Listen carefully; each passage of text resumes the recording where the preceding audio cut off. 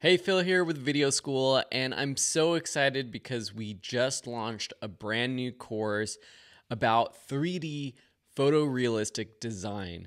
This course covers how to use 3ds Max and the V-Ray plugin.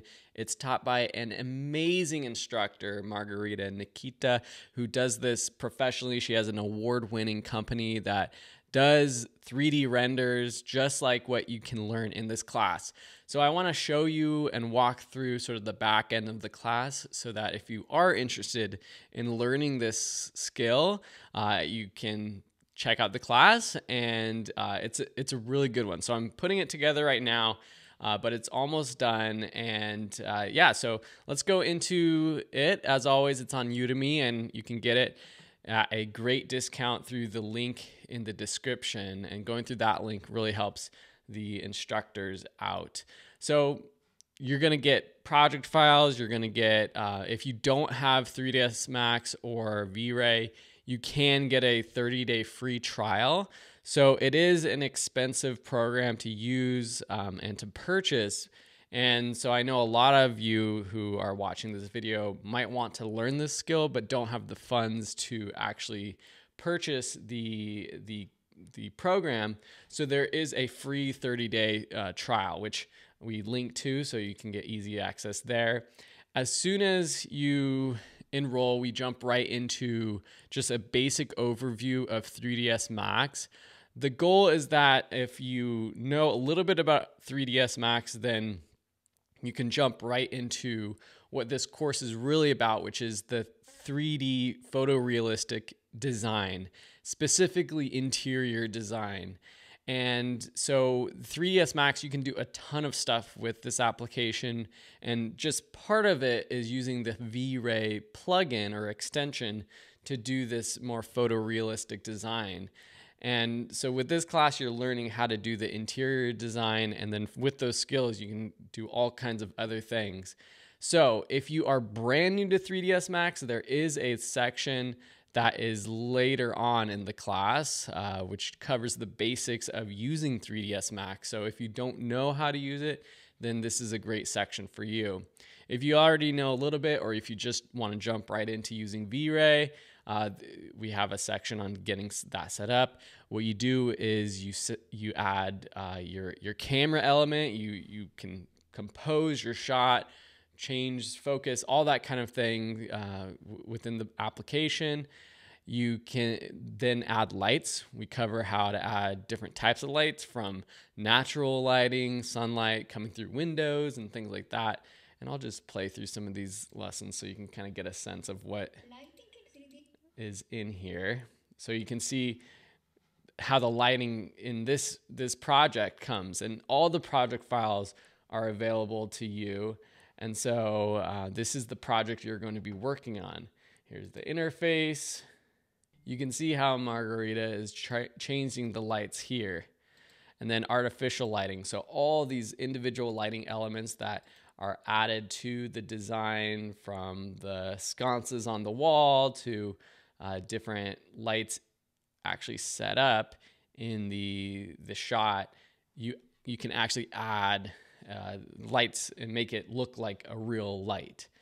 Um, after that, it's all about applying materials. So, materials is basically the texture of all of these designs. So, this class is not a modeling class. So, you're not actually building out separate elements. What you're doing is taking an element and adding the these materials or textures to them. So, she covers everything from fabric and wood to ceramic, stone, glass, and metal. All of these things are, are different textures that you add. Uh, metal, I said, she covers where to find these textures, how to download them, how to light them properly so that it looks real. And it's pretty amazing when you look at these photos that she she does and she teaches. It I wouldn't know whether it's a real photo or not after looking at it for for a quick glance.